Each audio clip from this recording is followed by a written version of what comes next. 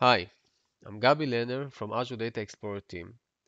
And in this short video, I will show you how to create an ODBC connection to your data on Azure Data Explorer cluster. Later, you will be able to use that connection in order to build dashboards with any BI service that supports ODBC connectors. For the purpose of this video, I've selected public storm data uh, in the US uh, and this data contains time of the event, type of the event, contains the results, how many injuries, how many deaths, what was the damage to property. And it also contains uh, location, uh, either by state or by longitude and latitude. And in addition, we have a description of the event in plain text. So in order to create my ODBC connection, first I need to tap the Windows button and type in ODBC to select ODBC data sources. Then I need to add a new ODBC connection. I am selecting ODBC driver 17 for SQL Server.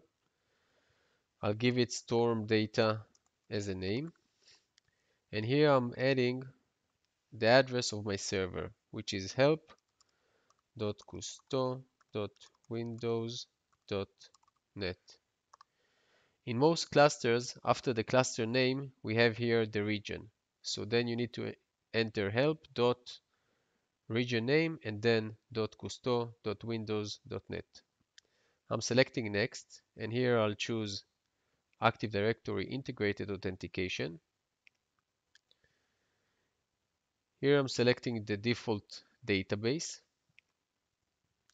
It takes a few seconds and it brings me all the databases in the cluster that I've just selected and I will be using samples, samples database. Next again and finish. I'm testing my data source so I need to see that the connection is working properly. Here I see that the test completed successfully so I can move forward and create the connection. In the next videos, I will show you how to use this connection in order uh, to build dashboards on top of, top of it using various BI services. Thank you.